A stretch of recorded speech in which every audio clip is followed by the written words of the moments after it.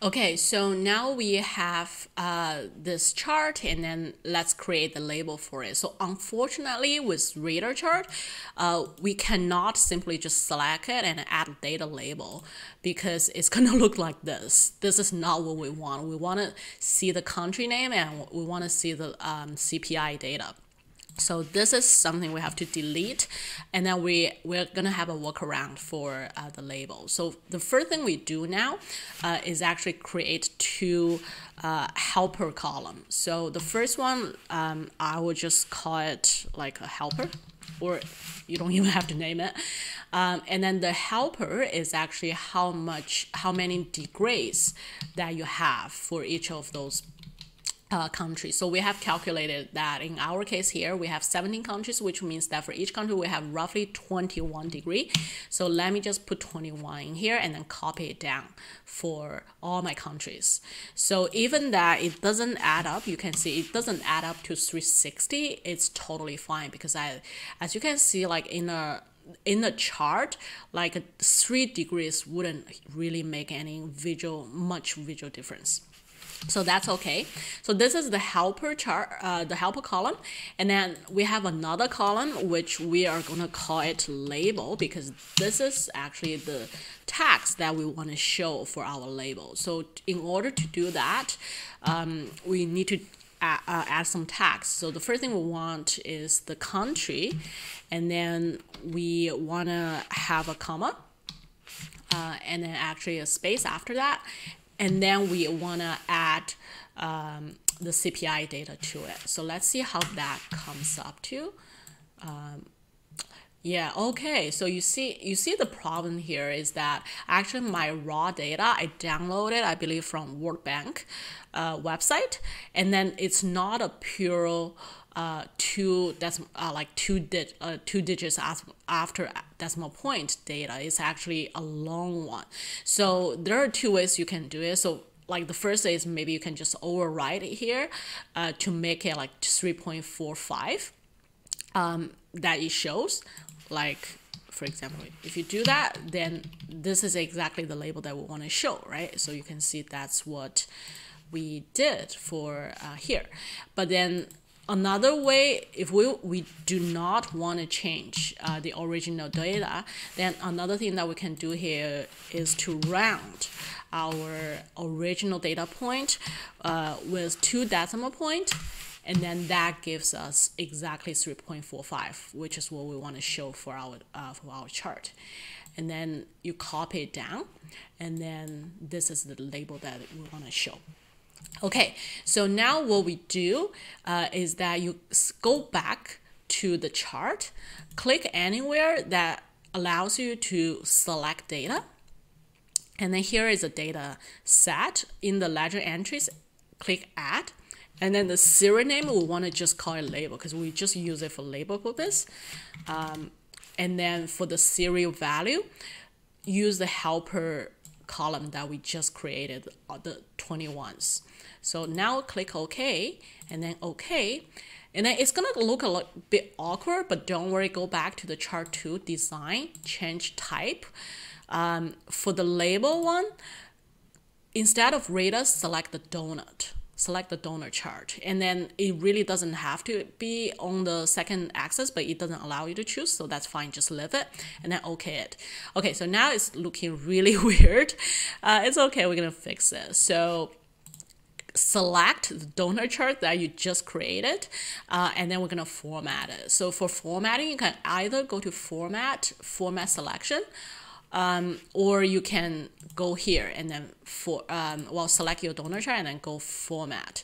So either way, it brings you to the series option. So one thing we want to adjust is the donut hole size because we uh, we know that this is just for label. We do want our bars to show. So I'm going to change this to 75% so that um, it's outside the circle, it's overlapping a little bit, but then it's still outside the circle. Uh, and then in terms of the color, um, I want to feel solid color, but uh, I want something that's much less intru- intru- uh, intrusive. I want something that is just gray. You can see it's there, and then it's showing the label, and then it also supports the center chart that we want to see. And then if you click out, it's gonna look like exactly like a donut. But then I wanted to have some border um, border around so I know each so I can basically refer each country back to the bar in the center.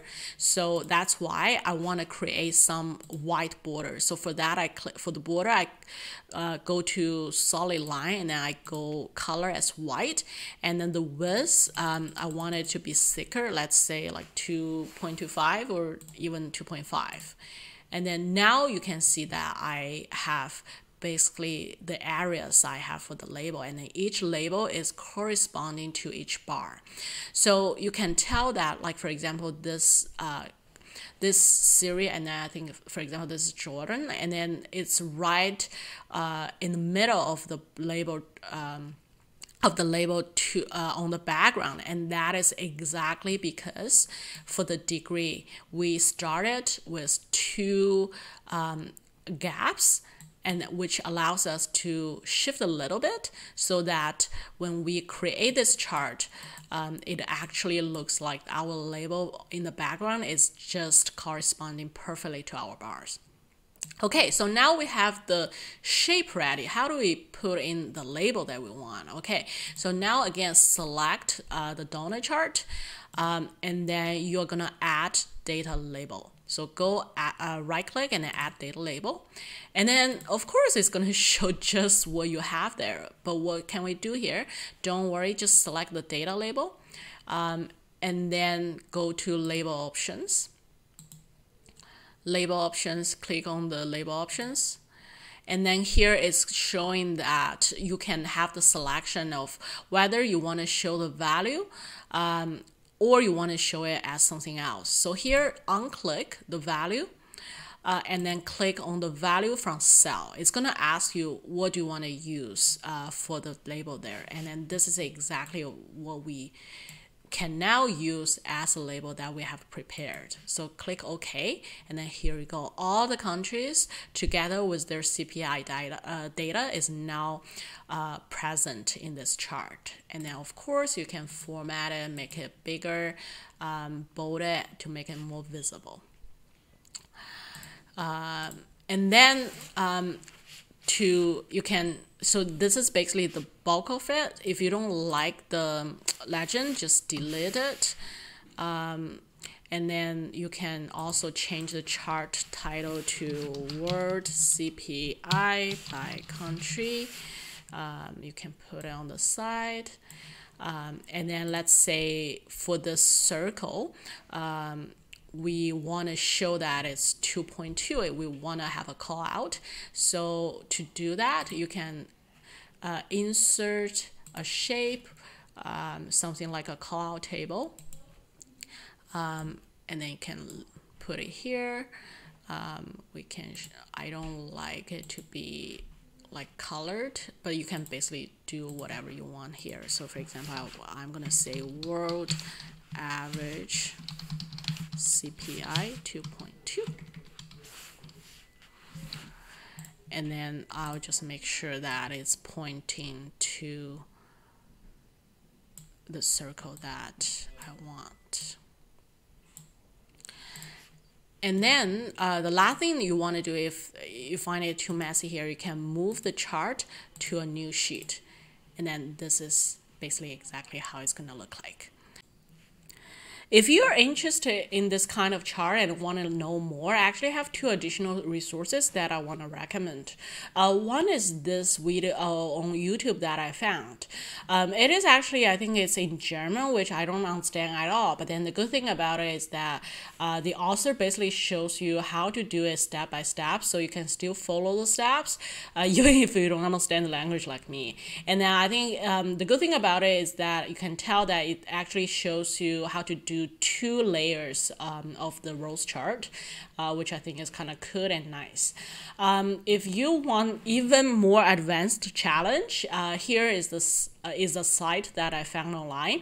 Uh, it basically teaches about all kinds of different variations of this kind of chart, uh, and then they all look nice. So I think if you are interested, um, they even provide the downloads here, so you can download them and figure out how to do the charts yourself. I will paste those two links um, in the description so that uh, you can have a look um, yourself.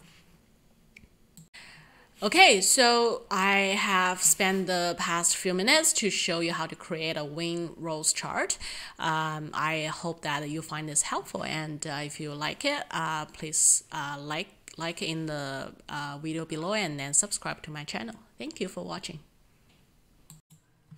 Thank you for watching. Please subscribe to my channel if you like it. If you have any question, please leave me a comment and I will talk to you very soon.